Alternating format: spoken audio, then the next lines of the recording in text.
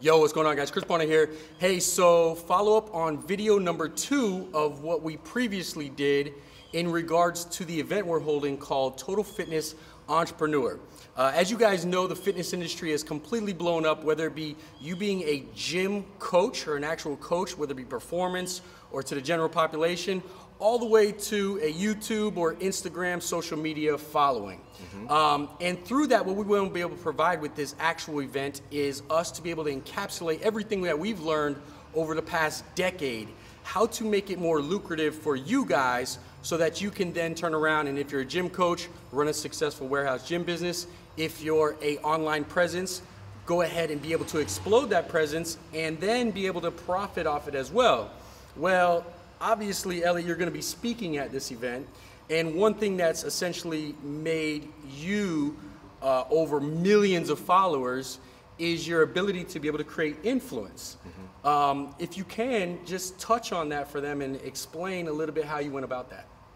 Yeah, so this term brand has been around for a lot. And it's one that people are throwing around all the time. Your brand, you're on brand, create your new brand. What is your brand? And it's interesting because when I started learning direct response marketing from my teacher, Dan Kennedy, he said that branding is dead and you want to focus on influence. Mm. Branding is a matter of what people think about you. Influence is about how people feel about you and how they decide whether or not your brand is for them. And the key to being able to develop a very influential brand are the stories that you tell. Now, that's just one of several keys that I'm going to be speaking about at the Total Fitness Entrepreneur event that we're having in, uh, on the 31st of August. But here today, I want to talk about you, your story, how you use it to support your business on the back end, whether you're a content producer or you own a gym, and I really truly believe that you should have both.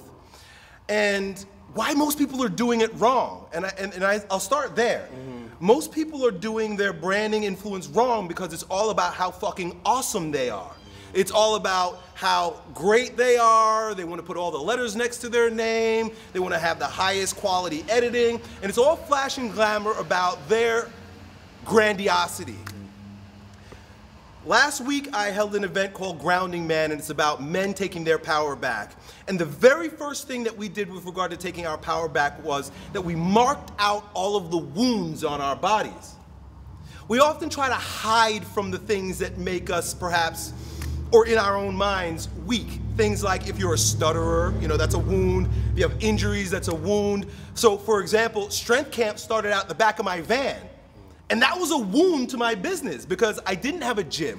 And when I did have a gym, it was a dusty ass warehouse and it was hot like we're sweating right now. It's a part of our wound. If you wanna have, you wanna go to a nice gym that has air conditioning, don't come to our wounded fucking gym. My point is that you wanna take a good look at the stories that you tell that bring connection between you and the wounded public.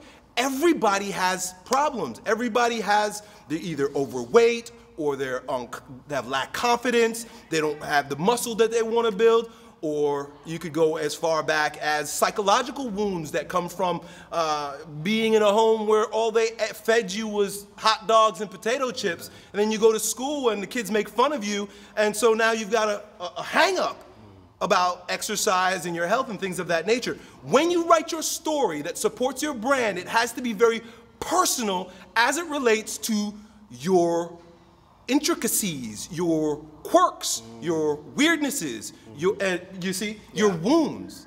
And so when you look at very influential brands, for example, like Strength Camp, what we use and what I use, and to this day I consistently use, and you'll see it in the way that I speak about my wounds in my videos, where we follow a philosophy of not trying to fix it if we can't, but feature it. You see, this is, a, this is a, a, a total mind swap with regard to how you're going to go about building influence with your brand. Instead of thinking about how can I hide my deficiencies and promote my flash and glamour, which is really what everyone else is doing. That's called Me Too marketing. Right. Me Too marketing is like, oh, me too, me too. Look how I look how great I am. You go right to the ground. You go right to the roots. You go right to people's hearts, and where they are is where they're feeling insecure. You see, so I've torn both biceps and my Achilles tendon. That's created a lot of humility in my life, but it also has created a ton of compassion for people who have all kinds of injuries. Injuries from sports, but also, you know, we have members that were born with multiple sclerosis, people have scoliosis, people have diabetes, people who have all kinds of problems that if they feel like they're going to be a part of a gym or a brand that's all perfect, there's intimidation factor there. So it's really about humanizing, humbling, and coming back down to earth where the people who we want to influence are going to be on the journey with us rather than we lording over them. Absolutely. And one thing that I've always noticed about you, and what I hear you saying is, you know, you've always been the most transparent and you've always allowed yourself to be the most vulnerable. And it's funny because people come in here and they don't talk about your 600, 700 pound deadlift. Nope. They find that one thing in your story that they identify with. Mm-hmm. And I'm close to you more than closer to anybody as, as far as in this gym. And every I see hundreds of kids a month, a year coming in and wanting to speak to you and be able to talk to you. And it's all about identifying with one particular part in that. Mm-hmm. Because what they see is they see a strong person on the on, on one side, but they also see those vulnerabilities and they say that's what I can essentially move to attain. Mm-hmm. And I think that's a lot of part of the attraction. Wouldn't you agree? Oh yeah, absolutely. Mm-hmm. Right. If I was above and beyond everybody and I'm the smartest guy in the room, the best looking guy in the room, no one's going to be able to resonate and relate. And that brings, that actually pushes people away from your brand. Mm-hmm. So that's, you know, that's, that's one key component to sharing your story, whether you're doing it online or you're bringing attention to your, your offline brand. There are so many other things that are associated with the psychology of storytelling, including the, the type of language you use, you know, the key phrases that you use, the philosophy Absolutely. behind your training. All these things are like the soft part of developing your brand and your business. And that's what Chris and I hope to be able to do. Bring the hard, tangible, brick and mortar uh, systems really to you through the first part of our uh, event in, in uh, August.